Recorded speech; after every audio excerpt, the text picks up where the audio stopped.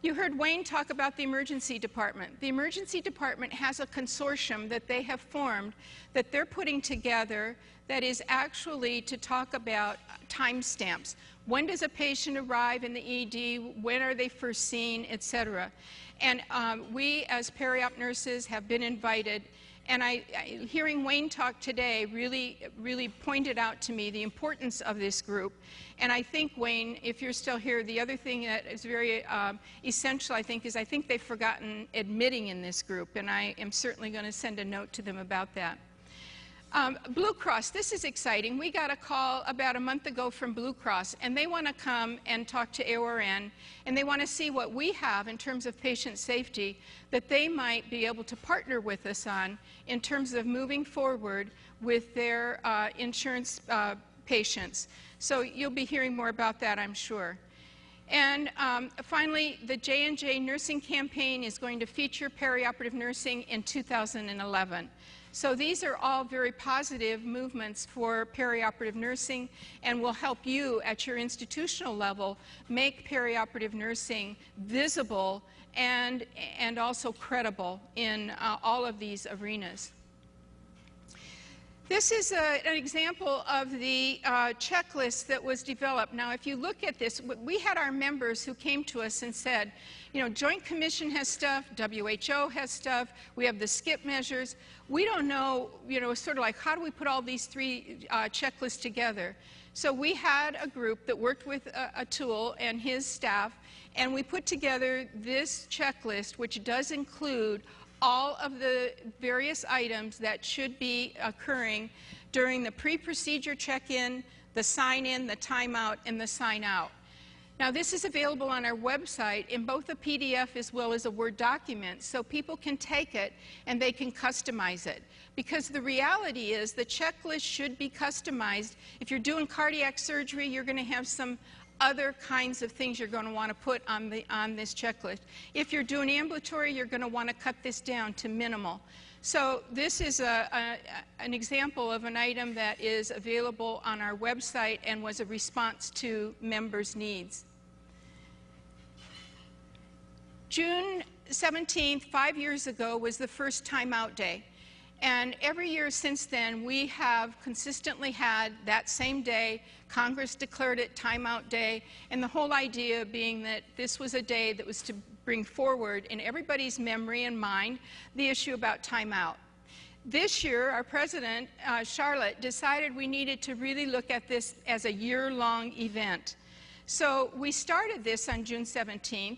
And this is available on our website, and we are encouraging nurses to actually print this out and to commit to support timeout for every patient every time and to spread this around their operating rooms. We have seen some pictures that have been sent to us where the, uh, where the locker rooms are lined with um, the commitment to, to the timeout.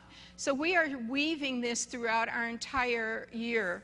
We have over 4,000 uh, hits on this the, with, within six weeks after it was out. It's been on Twitter and it has been uh, a pretty popular, and we spread it to other, to the ACS, to ASA, and to our colleagues as surgical technicians. Now, the recommended practices. The recommended practices are really the core of AORN. We have over 30 recommended practices, and they represent the intellectual property of AORN. And you can see on this slide that they go all the way from retained surgical items to hand hygiene to the environment of care. These are evidence-based, and they represent the best practices, if you will. We um, now have a system whereby we have a multidisciplinary committee that puts these together. That is ACS, ASA, APIC. Depending upon what the topic is, they participate in the preparation. These are posted on the website for public comment, and we are getting an incredible number of comments. Uh, the one on surgical attire had over 50 pages of comments. We took those comments off. We are redrafting that recommended practice, and it will be reposted. The one on surgical, uh, retained surgical items, we had two different drafts on because we got so many comments. So this is an opportunity for the public and for industry and for you as CNOs and, and uh, chief medical officers to take a look at these and say, this, this may be the ideal, but it's not possible. And that's the kind of information we need to have feedback on. These recommended practices are considered to be the Bible uh, for perioperative nursing. They are cited by many organizations, associations, and also regulatory bodies, and also in uh, the legal. Many of the med legal people use the recommended practices when they are looking for justification for how someone did or did not uh, perform. And we offer them in a book form, and now we offer them in a CD as well. And in addition to that, there's a, a, template for policy and procedure. One of the things that I found when I was an OR director was that every time a new recommended practice came out, I had to go back to the hospital and develop a, poli a policy and procedure based on that. Well, what we've done now is put together a template so that you can actually customize at your facility the recommended practice to suit whatever it is, um, how it will fit into your own institution. So that template is available. The recommended practices actually serve, as I said, as sort of the center of the universe for AORN. Many things are uh, derived from the recommended practices. We have some AORN toolkits, and I'll talk about those in a minute. The, um, we do some webinars based on that. The seal of recognition. Um, the seal of recognition is awarded to industry partners who come to us and say, we have an education program or we have something we want you to look at, and if, if you agree, if it meets the recommended practices and the standards that you have set, we would like to get the seal of recognition from AORN.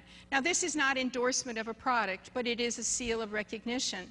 Medline came to us. In fact, I think they were one of the first and got the first seal of recognition for the perioperative uh, pressure ulcer prevention.